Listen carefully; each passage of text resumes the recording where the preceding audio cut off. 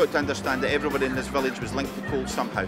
You know, their granddad or their parents worked in the pit, and it's like a wee throwback to the past a bit. I think they're very proud of it and they want to be involved, and that's all that counts for Kelty.